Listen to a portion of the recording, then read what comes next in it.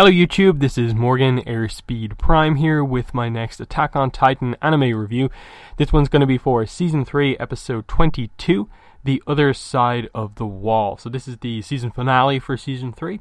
Uh, though thankfully they did confirm Season 4 is coming next year. I think fall 2020 is what they said.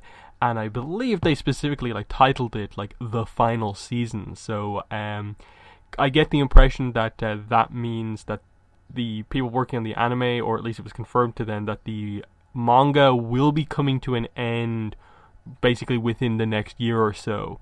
Um, given that the anime is going to cover everything else. So that is very, very interesting information. So it means we are getting towards the end of the series, and they're not planning to like make it super, super long. Um, but let's talk about this episode, the other side of the wall. Um, interesting episode in that it was very different than the other ones because it wasn't. Everything else has been just crazy reveals all over the place. You know, action, uh, all this, that, and the other. This was a lot more sort of laid back, but it still had, I think, a lot of very strong moments. And I think just the setup, like, if not just for like the position that Eren is in by the end, um, I think it's really, really uh, impressive where they've left things off. So, um, I suppose a couple of uh, things to note here is uh, obviously just in terms of world building type stuff. Uh, they confirmed that basically they have killed all of the Titans effectively on Paradise Island. Um, this is something I actually sort of expected, um, just because um, it made sense now with the reveal of like basically what all of the pure Titans are. There wouldn't be that many of them, and they confirm it here that once the wall was breached, basically all of the Titans came through, and since they've reclaimed the wall, there in the in the grand scheme of things, there wasn't that many left to take out because they had they they eventually had, of course, the automated kind of Titan weapon taking them out. The scouts had gotten so you know efficient at taking them out as well during all the big battles. Uh, so yeah, it made complete sense that they only counted that one Titan that could barely move uh, outside of the walls because we know that they're just you know punished Eldians basically. Uh, so I, I didn't get the impression that like they just there were like millions of titans that they just were throwing millions over there so like they, they they put that limitation on it and i think it helped to just be like okay now on Paradise Island, things are super, super stable. I like at the start that they went through the idea of like, we have to tell the population, we have to let everyone know about this. It can't be a secret. We can't let things go the, the way that they went in the past, where memories were taken, the people were lied to. We're just going to be brutally honest about everything that we found out. And I know it's going to be hard to believe for some people, but that is the thing, and they just have it printed in the paper and I really liked it. And you had like the, the I suppose the, the new the people in charge of the paper even discussing it with uh, like Hanji and Levi of like I, I even though we published it like I I'm, I don't even believe a lot of it, but it's clearly the truth. Um, and they're just like happy with like you know that's the way it is. Um, so I like that that just it, it, it sort of unites Paradise Island of like all of the sort of issues just within the, the the conflict that was happening here is sort of resolved for now, and it sort of unites Paradise Island to for, uh, for whatever's coming next. Um, so I think that was very very uh, a very good thing to, to to to have to just confirm to everyone to place us just in this very very different position. I like that we had Historia ultimately be the one to speak out and be like, no, we can't do things the way the previous kind of uh, royalty did it. Uh, this is the way it has to be. We see uh, the ceremony where the, the scouts that obviously accomplished all of this get their medals. And um, what was very interesting here is, of course, uh, when Eren kisses Historia's hand as part of the ceremony, he remembers even more memories, even more specifics about how his father got the founding Titan power by eating Frida. Specifically, the conversation that they had before the fight happened. Because I think the way Eren had experienced it before, he it sort of vilified his dad to him that his dad just went in there and killed someone close to Historia and he felt like worthless because of that. And here we get that he actually comes in and offers the solution of like this is what you need to do. You have the founding titan power. You have the power to accomplish everything that we need to do. Do it. Don't just stand there. And you can tell she sort of thinks about it, but then when she closes her eyes and opens them up again, she's basically taken over by the king's will. And I think throughout all of this, what we need to keep in mind here is what they've said already about this sort of thing of like why the king has this sort of rule in place going forward where no one who can use defending titan power can ever truly properly like accomplish anything with it um, in that anyone capable of using it is then overtaken by the will so they can't effectively use it. Um, and he said that this is so that the sins of the past, basically, of the Eldians can never happen again. And I think that's going to be very important coming up in terms of what did they do? What do we get the impression may happen going forward with Eren? Um, and why was this set in place? There, there's there's something more to it um, but again, we need to get the full context for that. Uh, in that, again, like why, what caused Ymir Fritz in the first place to get the Titan powers, and what did she do after that, and how did things go the way they went? Why, you know, why did she only live for thirteen years? Is it because of the the power, or did something happen, and is this part of all of that? Um, they're the kind of deeper questions you have kind of going on from this, but um, it's it is an interesting one. It, it helps given that Eren has had, I suppose, Grisha's full memories now, to even that give some sympathy towards what's going on here. In that he know he knows why his father wanted to um, accomplish what he wanted to, and now he knows that he gave her that opportunity. And you know, I suppose the, the futility of you know the, the situation that they were in previously with defending Titan power just getting passed along for the sake of being passed along, but no one ever being able to use it or do anything with it. And Eren, still the one thing very consistent, even though he sort of changes in this episode, is that he still wants to be free. But what it means to be free and how you accomplish that freedom has changed for him. But um yeah, we we get um we we also prior to this actually had the big Floch scene, um which I found interesting from the perspective of like I, I get what they're trying to do here with Floch, but I, I find it uh, a bit hard to fully get on his side about things just because. Wait, this was the guy who who he, he, the the opinion he gave about why Erwin should be the one to be kept alive was that effectively from his personal point of view, he wanted Erwin to live on and be burdened by everything that he's done and continue to be burdened by the fact that now he is a titan.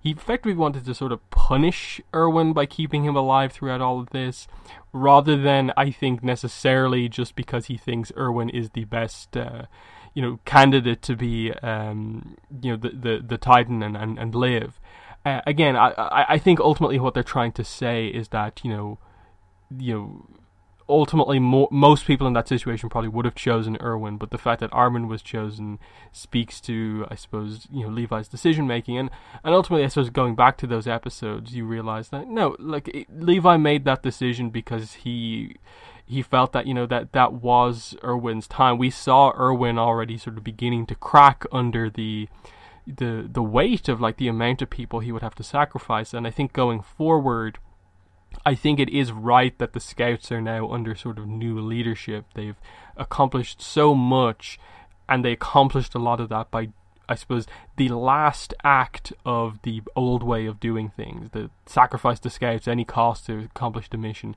Now they're in a position where they, I, I don't think they'll need to do that anytime going forward. So Armin's clever tactics, um, uh, with uh, Hanji as well in there. Th- those two, I think, are going to be a very strong leadership team for the Scouts going forward, uh, given the position that they're in. So th- that's the point I would make about all that. Is just that I think I think Erwin accomplished everything he needed to do for the sort of era that they were in, but the new leadership that the Scouts are under now is, is, is going to benefit from where they are now.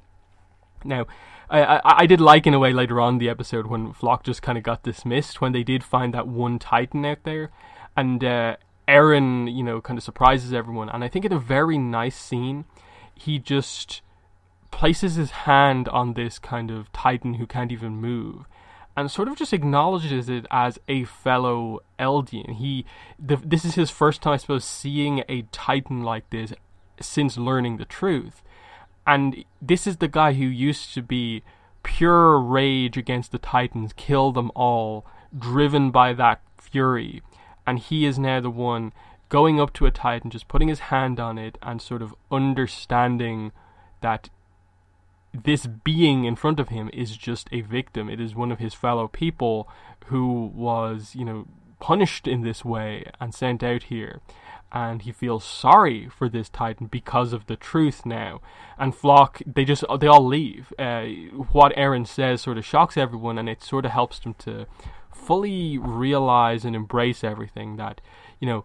For Eren he's experienced the memories of this. So he is so connected with those things like we as the audience are. Everyone else has just read them and heard about it and it's like it's hitting home, but for Eren it hits home much harder. And so moments like this of like Eren sort of showing everyone that like this is what this means now. The Titans are just basically you or me.